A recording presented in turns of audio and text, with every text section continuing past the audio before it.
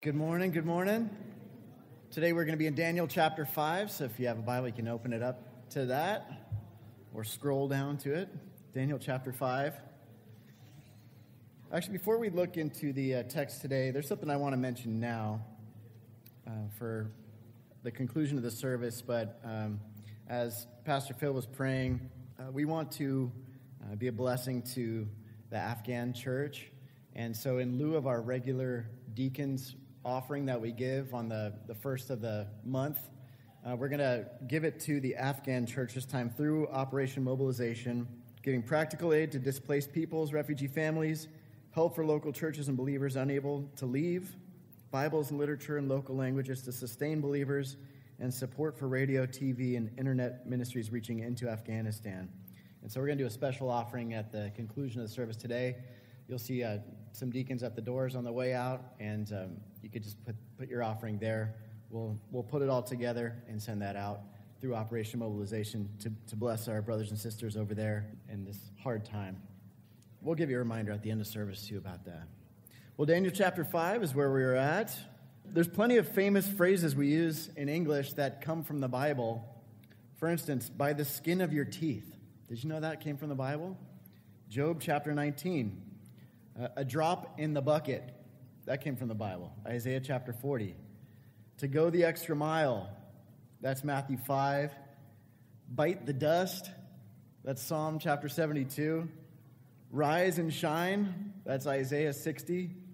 And then writing on the wall. The writings on the wall. That's from today's chapter, Daniel chapter 5. And we're going to see the story that surrounds that phrase, the writing on the wall. So let's get right into it today. First, let me pause and pray.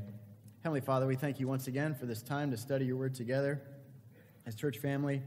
Lord, we do pray that your Holy Spirit would open up our eyes to truths that we need to hear this morning. We thank you that your word is truth and that you've preserved it for us. Uh, Lord, let it do its work in our lives today. That's our prayer. In Jesus' name we pray. Amen. Okay, starting in verse 1 of Daniel chapter 5 says, Belshazzar, the king, held a great feast for a thousand of his nobles and he was drinking wine in the presence of the thousand. While he tasted the wine, Belshazzar gave orders to bring the gold and silver vessels which his father Nebuchadnezzar had taken out of the temple, which was in Jerusalem, so that the king and his nobles, his wives, and his concubines could drink out of them. Then they brought the gold vessels that had been taken out of the temple, the house of God which was in Jerusalem, and the king and his nobles, his wives, and his concubines drank out of them. They drank the wine and praised the gods of gold and silver, of bronze, iron, wood, and stone. All right, so Daniel 4, where we were last time, ended with King Nebuchadnezzar, the story of his humbling. And now we're just kind of casually talking about this king named Belshazzar. You know, just flip into the next chapter, and boom, here's this other king. You might be wondering, well, what happened here?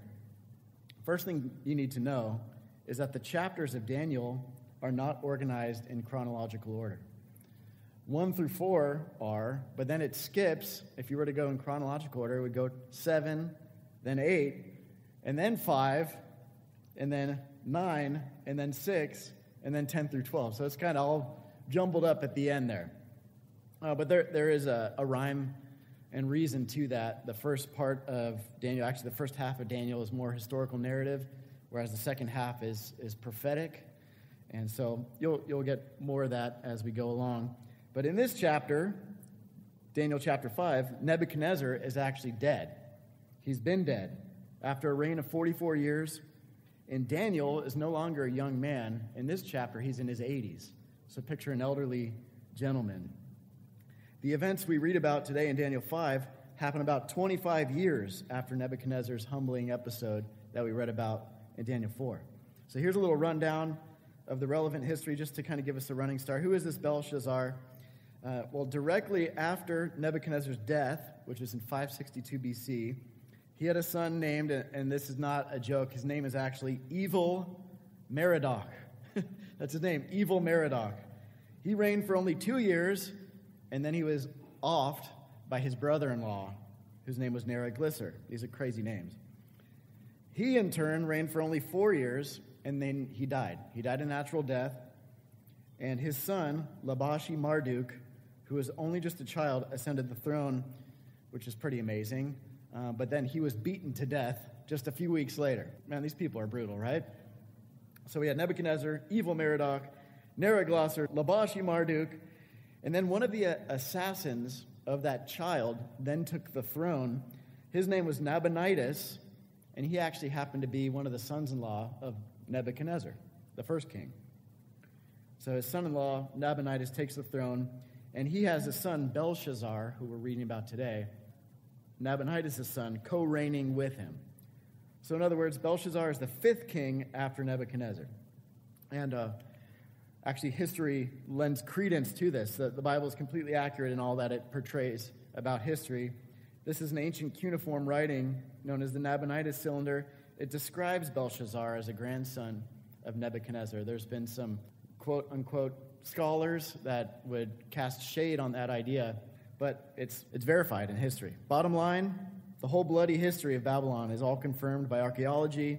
How the Bible presents is 100% accurate. And uh, in fact, in other places in Scripture, Jeremiah 27 even specifically predicts that Babylon would meet its end during the reign of Nebuchadnezzar's grandson, Belshazzar. So let's get back to our scene. That one was for all the history buffs and nerds out there, looking at a, looking at a couple select friends here in the audience. Anyways, let's get back to our scene. This is a big party. It's a big party. Wine, women, wealth, it's all there. Belshazzar is kind of throwing this fiesta. And at this exact moment, however, the Persian army is surrounding the city of Babylon to conquer it. So picture this this party's going on, and this army is surrounding it. It's mid October, 539 BC. Now, the question is well, why is he throwing a party when there's this army surrounding the city? Well, Belshazzar has a false confidence in the strength of his city. Miles and miles of high and thick walls.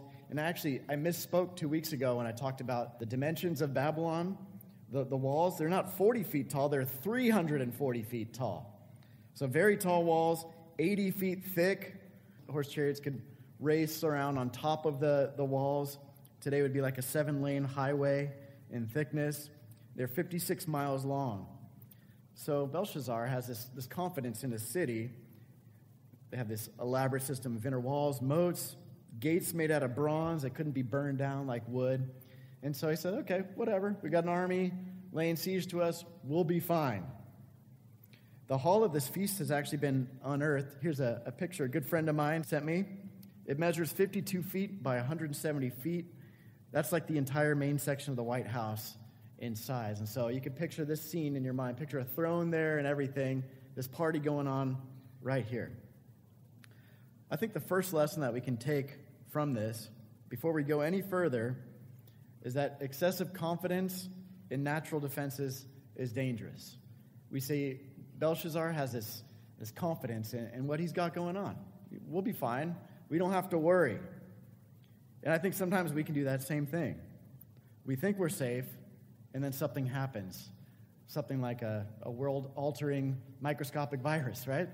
Things happen in this world that change everything. Stock markets tank, real estate plummets, you can lose your job, you can get a bad diagnosis. As Jesus said, moths and rust destroy, thieves break in and steal. And so we put confidence in things of this world. The rug could be pulled out from under us, just like that.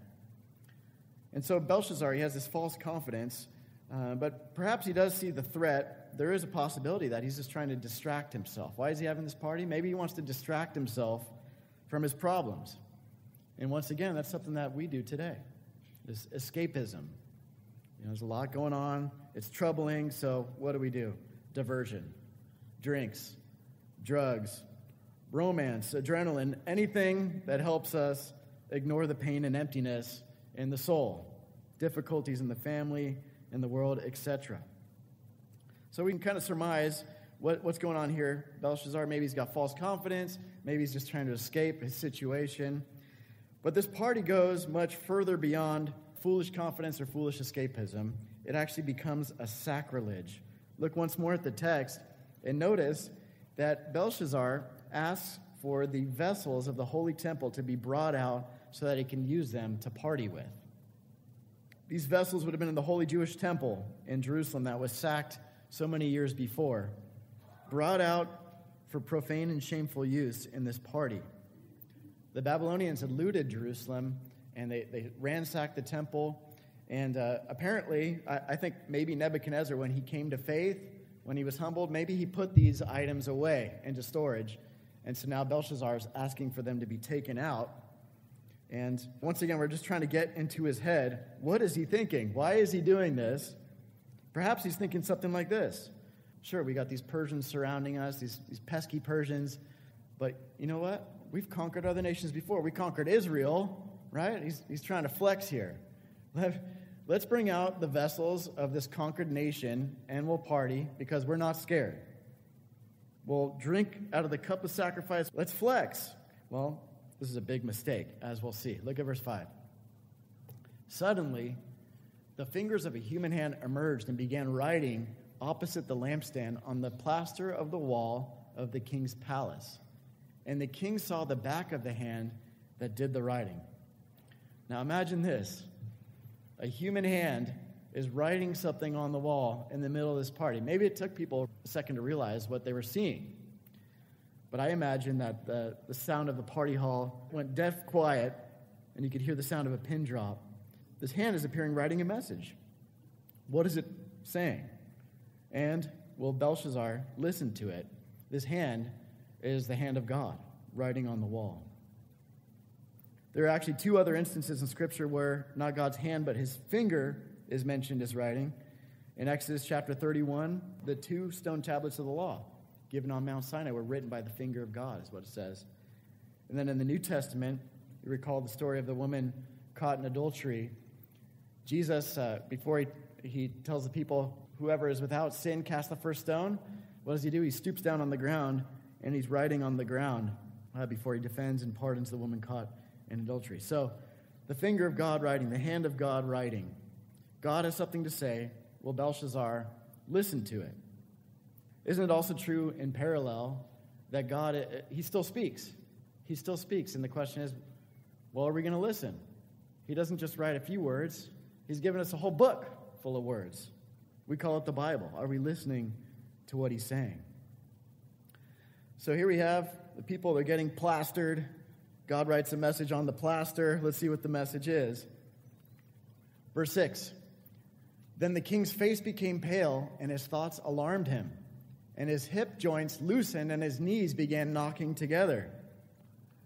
The king called aloud to bring in the sorcerers, the Chaldeans, and the diviners. The king began speaking and said to the wise men of Babylon, Anyone who can read this inscription and explain its interpretation to me shall be clothed with purple and have a necklace of gold around his neck and have authority as third ruler in the kingdom. So I think this has got to be the fastest example of sobering up in history. He's drunk, and then he sees his handwriting on the wall, and then he, he sobers up. He could barely stand. It says his knees are knocking together. Literally, the text actually says his color changed and the knots of his loins were loosened. I don't exactly know what that means, but that sounds pretty gross, right? Uh, he could make out the writing, but apparently not understand the message. Perhaps it was written in ancient Hebrew, that's why. Now, the, the, the Jews would adopt the Aramaic script in history during this Babylonian captivity, but before that, they had what's called a Paleo Hebrew script. So if it's written in Paleo Hebrew, then he, he could see the, the scratch marks on the wall, but not understand what it said. But more than just seeing the strange hand appear, I believe Belshazzar was dismayed because his conscience likely already troubled him. He sobered up, he was scared because of what he saw, but I believe he was also knowing that he was in the wrong because of his conscience. And many times God speaks that way. The voice of the Holy Spirit, you know, calling us to obey, to repent. Here we have this little tidbit. Anybody who can interpret this can be the third ruler in the kingdom. Once again, that confirms the historical accuracy. Remember, Belshazzar was co regent with his father, Nabonidus. So you have one, two, well, what's left? Third ruler is the next slot available. So he says, anybody who can interpret what this says, I'll make you third in command of the whole empire. Verse 8 Then all the king's wise men came in, but they could not read the inscription or make known its interpretation to the king. Then King Belshazzar was greatly alarmed. His face grew even more pale, and his nobles were perplexed. So we've seen this theme before, this motif uh, of the wise men coming in and they can't interpret what's happening. This is like the fourth time that's happened in the book so far. Another epic fail for the pagan soothsayers in the book of Daniel. They didn't know the significance, they didn't know the application of this message. And then this happens, verse 10. The queen entered the banquet hall. Because of the words of the king and his nobles, the queen began to speak and said, O king, live forever. Do not let your thoughts alarm you or your face be pale. There is a man in your kingdom in whom is a spirit of the holy gods. And in the days of your father, illumination, insight, and wisdom like the wisdom of the gods were found in him. And King Nebuchadnezzar, your father, your father the king, appointed him chief of the soothsayer priests, sorcerers, Chaldeans, and diviners. This was because an extraordinary spirit, knowledge and insight, interpretation of dreams, explanation of riddles, and solving of difficult problems were found in this Daniel, whom the king named Belteshazzar. Let Daniel now be summoned, and he will declare the interpretation. So the queen comes out. This is likely not Belshazzar's wife or even Nabonidus' wife, but this was the queen mother, the wife of the late King Nebuchadnezzar. She comes out. Maybe she had too much class to be a part of this drunken party in the first place, but, but she comes into the hall and she tells them, she tells Belshazzar, Your father, but just a generic way to say forefather, your forefather, Nebuchadnezzar, knew a man who could help in this situation. She, she names Daniel.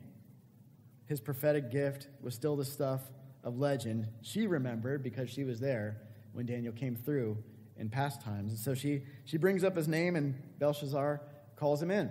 Verse 13. Then Daniel was brought in before the king. The king began speaking and said to Daniel, Are you that Daniel who is one of the exiles from Judah, whom my father the king brought from Judah? Now I've heard about you, that a spirit of the gods is in you, and that illumination, insight, and extraordinary wisdom have been found in you. Just now, the wise men and the sorcerers were brought in before me to read this inscription and make its interpretation known to me, but they could not declare the interpretation of the message. Now, I see in, in Belshazzar here human nature here. You know, when things are going great, when the party's going as planned, you don't really care about what God has to say about something, right? When everything's good, who needs God or, or his message or his messengers? But when things fall apart, instantly, okay, back to God. His message, his messengers are acknowledged. And that's so like human nature. So now Belshazzar is in this place where all of his human resources are exhausted. Well, he goes to the last place. He goes to God's messenger, Daniel.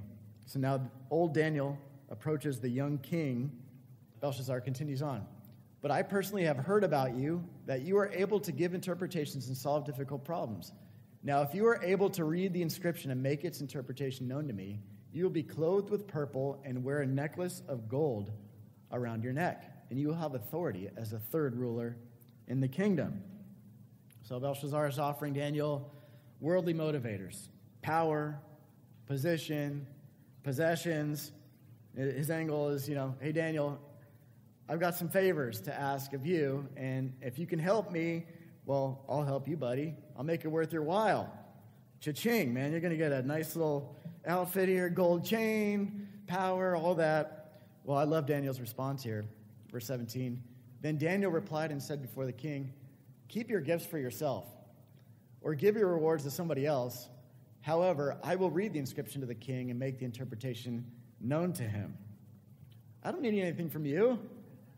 I don't need any of your possessions, your position, power. I don't need that. I work for God. And I think this is a powerful show of character on Daniel's behalf. He worked for God, not for gold. It was about God's glory, not his own. And so none of these temporary earthly rewards seem to matter to him. What could someone give you that would matter more than your integrity? And Daniel understands that. Uh, Psalm 50, verse 10 through 12, says this For every animal of the forest is mine, the cattle on a thousand hills. I know every bird of the mountains and everything that moves in the field is mine. If I were hungry, I would not tell you, for the world is mine and everything it contains. So Daniel knows he serves the God who has everything at his disposal. And so, why is he going to kowtow before this pagan king? He knows that he can't outgive God, so his motivation is simply to honor Yahweh. He doesn't need the bribes, he doesn't need the stuff. Now, I, I see in this uh, tone much different than Daniel, his tone with Nebuchadnezzar. Uh, he was very polite with Nebuchadnezzar. You know, oh, king, live forever. I wish that this, this message was for your enemies. Well, I think he's got a different relationship with Belshazzar because he gives it to him served cold. Anyways, this, this is what he says, verse 18. O king, the Most High God granted sovereignty, greatness, honor, and majesty to Nebuchadnezzar, your father. Now, because of the greatness which he granted him, all the peoples, nations, and populations of all languages trembled and feared in his presence. Whomever he wished, he killed, and whomever he wished, he spared alive. And whomever he wished, he elevated, and whomever he wished, he humbled. But when his heart was arrogant, and his spirit became so overbearing that he behaved presumptuously, he was deposed from his royal throne, and his dignity was taken away from him. He was also driven away from mankind and his heart was made like that of animals, and his dwelling place was with the wild donkeys. He was given grass to eat like cattle, and his body was drenched with the dew of heaven, until he recognized that the Most High God is ruler over the realm of mankind, and that he sets over it whomever he wishes. So, Daniel is telling Belshazzar this little history lesson that he should already know. It's Babylonian history uh, from his own family he gives Belshazzar this lesson to learn from Nebuchadnezzar's story that we read all about last chapter in Daniel chapter 4. Belshazzar should have heeded this cautionary tale from his grandfather. Nebuchadnezzar was humbled. Remember last week? The, the mighty king was looking over his kingdom saying, Wow, I'm pretty awesome, right? God humbles him for seven years and he becomes like a beast. He, he, he behaves like an ox in the field, eating grass. His hair grew, his nails grew. And then at the end of seven years, his reason returned to him, and he, and he said, You know what? God is the ruler. God is sovereign. He's in charge. After he humbled himself, he was exalted. So Belshazzar should have known this story, this history. He should have known better. If God had judged his predecessor, Nebuchadnezzar, why would he allow Belshazzar's own sin to go unpunished? But he doesn't heed the story. Verse 22 Yet you, his son, Belshazzar, have not humbled your heart, even though you knew all this. But you have risen up against the Lord of heaven, and they have brought the vessels of his house before you, and you and your nobles, your wives, and your concubines have been drinking wine out of them. And you have praised the gods of silver and gold, of bronze, iron, wood, and stone, which do not see, nor hear, nor understand. But the God in whose hands are your life breath and all your ways you have not glorified. So remember, Belshazzar was not Nebuchadnezzar's son by genetics, but through royal succession. Uh, it's that generic term. There's a little phrase here that I thought was fascinating. It jumped off the page at me. It says, The God in whose hand are your life breath and all your ways, you have not glorified. And first of all, I think that's kind of mild, right? He didn't glorify him. Well, yeah, he didn't glorify him. He brought out the vessels and committed sacrilege with them. This is foolhardy. This is blasphemous. He was insulting the Most High God. But the part of this phrase that really sticks out to me is when it talks about how his life breath was in God's hands. And that's true for all of us the fact that God holds all of our breath in his hands. You know, this, this fragility of our life. Uh, we, we think we're strong, but really, we're not that strong. Uh, every breath we depend on God to give us. Our lives are more fragile than we think. We ought not to presume upon the future. We don't know how much time we got.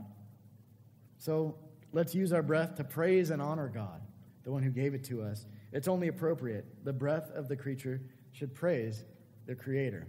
But Belshazzar was not doing that, much to the contrary. So now let's see what was actually written on the wall. Verse 24. Then the hand was sent from him, and this inscription was written out. Now, this is the inscription that was written Mene, Mene, Tekel, Upharsin. This is the interpretation of the message. Mene, God has numbered your kingdom and put an end to it.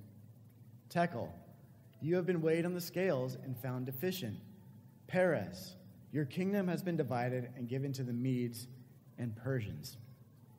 So, four words were written on the wall one word was repeated twice. And interestingly, they all happen to sound like monetary units of the day, like money of that time. Uh, there's mene, which sounds like the mina coin, but it means numbered. Then there's tekel, which sounds like shekel, and it means weighed. And then there's upharsin, which means and divided or and halved, and that sounds like the, the coin of the half mina. And it also sounds like Farsi. You guys heard Farsi before? Farsi language. What, do you know where they speak Farsi? Afghanistan, also in Iran, which was in ancient times known as Persia. Persia, Farsi. Uh, you can kind of see how all these things are related. So the message is numbered, numbered, weighed, and divided. So, first, Belshazzar's number was counted twice, and he came up short. He came up lightweight. I like this. I have this on my shelf. I thought I'd bring it up. This little weight system here. There's this verse in Proverbs chapter 21. Proverbs 21, verse 2 it says, Every way of a man is right in his own eyes, but the Lord weighs the heart. And God measures fairly, properly, and accurately. I got these little uh, gold grams here. It's not real gold, but you know. So you put that in, and then you put in something heavier and goes boom, like that. And that's what's happening here. Belshazzar is being weighed, and he's coming up lightweight. He doesn't have the substance. God measures fairly, properly, and accurately, and Belshazzar's kingdom is completely devoid of moral value and it's going to be destroyed. In fact, little does Belshazzar know that this little party he's been throwing is actually going to be his own funeral. You'll see very quickly how things turn in the story. That very night, those Persians surrounding, that encroaching enemy is going to absorb his kingdom into their larger domain. And so God is using Daniel to foretell the immediate takeover of Babylon by Cyrus the Persian and it was fulfilled the very night it was spoken, mid October 539 BC. Listen to some of these other prophecies in Scripture that describe what this takeover looks like. Jeremiah chapter 50, verse 1 through 3.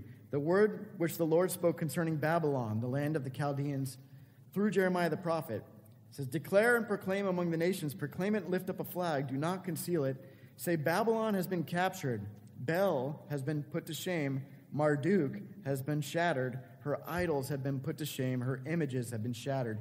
For a nation has come up against her from the north. It will make her land an object of horror, and there will be no inhabitant in it.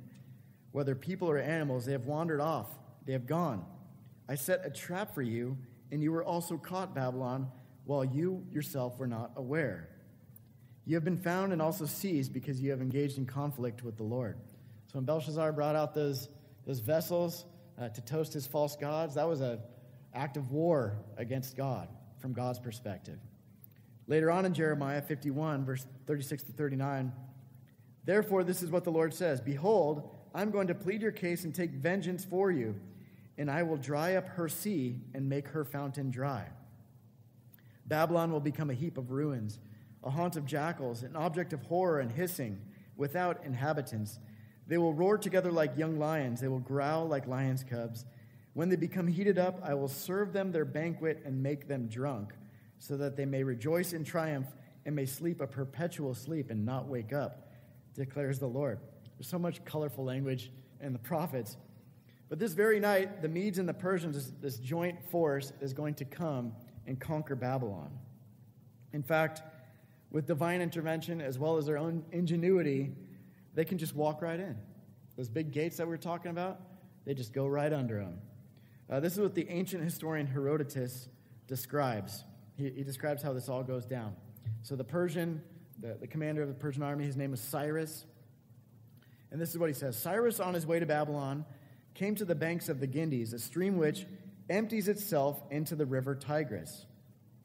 When Cyrus reached this stream, which could only be passed in boats, one of the sacred white horses accompanying his march, full of spirit and high mettle, walked into the water and tried to cross by himself, but the current seized him, swept him along with it, and drowned him in its depths. So, the Persians are on the way to Babylon. You know, they, they have their false gods, their false beliefs as well. They get to this river, and one of their sacred horses, I imagine, you know, some, some kind of pagan thing, tries to go across the river by itself, it drowns. Now listen to what Cyrus does. Enraged at the insolence of the river, threatened so to break its strength that in future even women could cross it easily without wetting their knees. Accordingly, he put off for a time his attack on Babylon, and dividing his army into two parts, he marked out by ropes 180 trenches on each side of the Gyndes River, leading off from it in all directions, and setting his army to dig, some on one side of the river, some on the other. He accomplished his threat by the aid of so great a number of hands, but not without losing thereby the whole summer season. So, in other words, Cyrus throws this hissy fit because he lost one of his favorite horses, and he gets his whole army to spend an entire summer digging up some trenches so that the river could part and they could walk through it. Doesn't that sound crazy? He, he throws his hissy fit at the river, and he makes his men build this dam to divert its course. Now, that's important because of what happens later on. Later on, as he gets to Babylon and kind of struggles with how to conquer it, a light bulb goes off in his mind, and he remembers what he did earlier with that other river. Listen to this. This is still from that ancient historian Herodotus. Cyrus was now reduced to great perplexity. As time went on, and he made no progress against the place, meaning Babylon. In this distress, either someone made the suggestion to him, or he bethought himself of a plan which he proceeded to put in execution. And I'll show a little picture to help you picture this. He placed a portion of his army at the point where the river enters the city, and another body at the back of the place where it issues forth, with orders to march into the town by the bed of the stream as soon as the water became shallow enough. He then himself drew off with the unwarlike portion of his host and made for the place where he dug the basin for the river, where he did exactly what she had done formerly. He turned the Euphrates by a canal into the basin, which was then a marsh on which the river sank to such an extent that the natural bed of the stream became fordable. So, in other words, he diverts the course of this river, Euphrates, that went right into the city of Babylon. The water started to go down and down, and once it got shallow enough, boom, they just walked right in underneath the gates. Isn't that, isn't that amazing? He goes on to say, Hereupon the Persians who had been left for the purpose at Babylon by the riverside, entered the stream, which had now sunk so as to reach about midway up a man's thigh, and thus got into the town. Had the Babylonians been apprised of what Cyrus was about, or had they noticed their danger, they would never have allowed the Persians to enter the city, but would have destroyed them utterly. For they would have made fast all the street gates which gave access to the river, and mounting upon the walls along both sides of the stream, would so have caught the enemy, as it were, in a trap. But as it was, the Persians came upon them by surprise and so took the city. Owing to the vast size of the place, the inhabitants of the central parts, long after the outer portions of the town were taken, knew nothing of what had chanced. But as they were enraged in a festival, sound familiar? Continued dancing and reveling until they learnt about the capture. Such then were the circumstances of the first taking of Babylon. So once again, we have extra biblical evidence just supporting what the Bible says happened they're having this drunken party. The Persians divert the course of the river, come right under, and kill everybody. They dammed the river upstream, waded into the gates. Babylonians were caught totally off guard.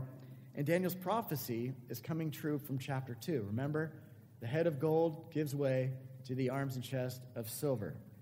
Babylon is giving way to the Medo Persian Empire. This is what the Old Testament scholar Lehman Strauss said he said, Empires do not stand by human might, man made machines and missiles. There is not a wall high enough nor thick enough to prevent a nation from falling when God pronounces that nation's doom. And so, doom was pronounced, and it's, it's happening. So, how does Belshazzar respond to this message? Verse 29 Then Belshazzar gave orders, and they clothed Daniel with purple and put a necklace of gold around his neck and issued a proclamation concerning him that he now had authority as the third ruler in the kingdom. So I'm just picturing Daniel. He didn't, he didn't even want this stuff to begin with. They're trying to put this around his shoulders, put this around his neck, give him a promotion. It's short lived. This is the last night that Babylon exists. Now, it's hard to tell whether or not Belshazzar really believed Daniel. He gives him this, this promotion, short lived, certainly.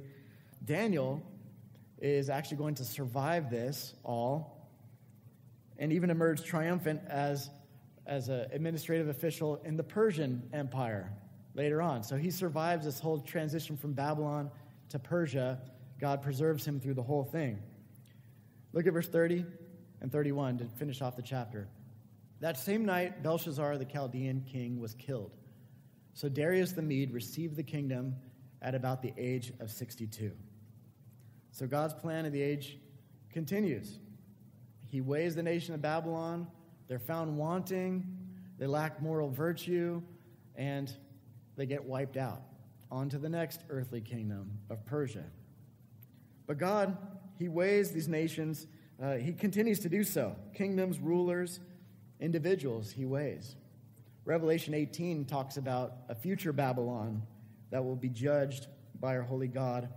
The evil world system will meet its end completely at that point. But getting back into our, our day, our modern day, God weighs and judges nations now the same way. He weighs us and he sees if we're, we're following him or not. Do we come up lightweight? And oftentimes we do. Listen to what Charles Spurgeon said. Remember, he, he's a preacher from England, but he's preaching this in 1859, talking about the United States of America at the start of the Civil War. Listen to what Charles Spurgeon said. He said, There's no God in heaven if the iniquity of slavery go unpunished. There's no God existing in heaven above if the cry of the Negro do not bring down a red hail of blood upon the nation that still holds the black man in slavery. Nor is there a God anywhere if the nations of Europe that still oppress each other and are oppressed by tyrants do not find out to their dismay that he executes vengeance. The Lord God is the avenger of everyone that is oppressed and the executor of everyone that oppresseth. And that, that great sin of slavery in our nation's past was surely judged. I mean, look at the numbers the Civil War, how many people lost their lives? They estimate between 600 and 700,000 people died as a result of that conflict. And we still feel the aftershock of that whole conflict in our nation. Now, it's easy to view that as a dark period from a distance, you know. But also today, how would God measure our nation right now? If you were to look at the United States how would he measure us on his scales? And just one example, actually, recently, you, you, if you've been following the news, there's this law in Texas that was held up that abortions are illegal after six weeks. Praise God for that, right? Amen? I think it's great that uh, that went to the Supreme Court and actually uh, they, they did nothing about it, meaning that that law is still in effect in Texas. Hopefully that trend continues in other states. But right now, the United States we have more radical abortion laws than pretty much anywhere else in the whole world, even Europe. In most of our states, you could have an abortion at any stage in the pregnancy for any reason. More than 61 million unborn children have died as a result of that Supreme Court decision in 1973, Roe v. Wade. So when we think about our nation right now, as God weighs us, uh, sometimes we think we're doing all right. I don't think so. I don't think so.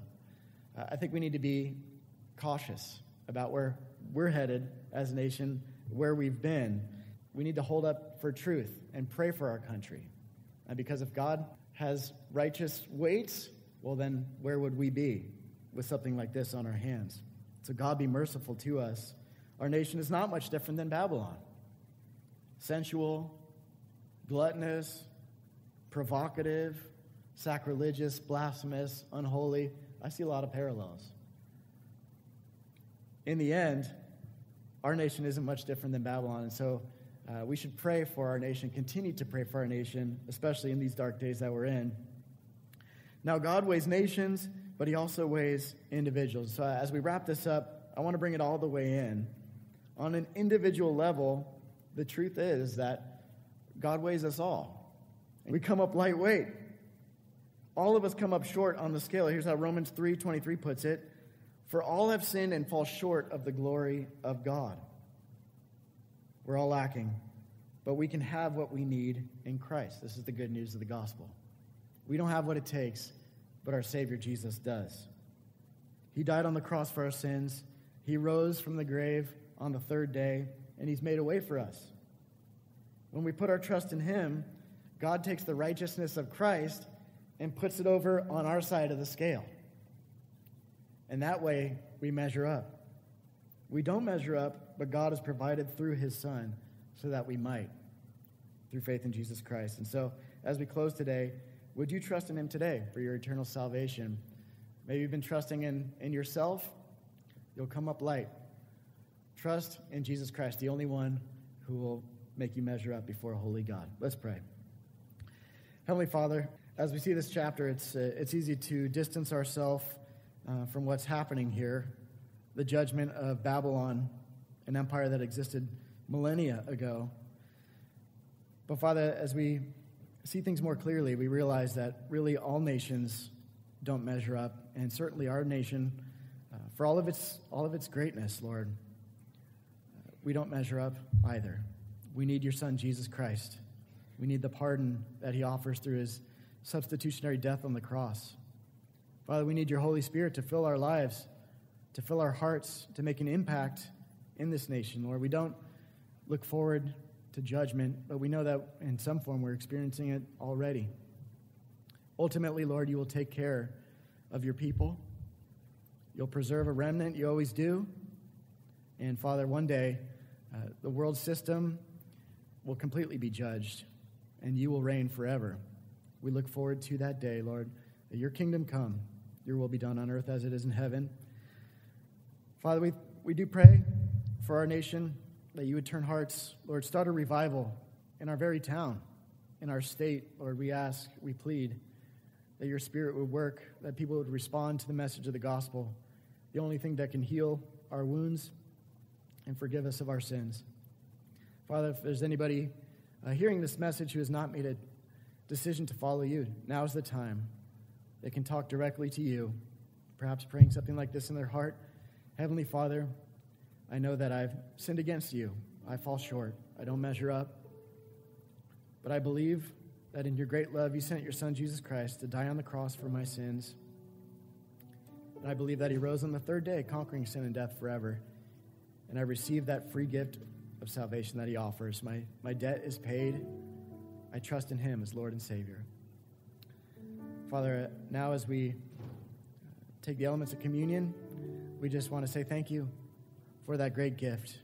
As we take inventory of our lives, if there's ways that we have not been measuring up, or we repent of those now and trust in your awesome love, your forgiving grace. We think about our Savior now as we take communion together. In Jesus' name we pray. Amen.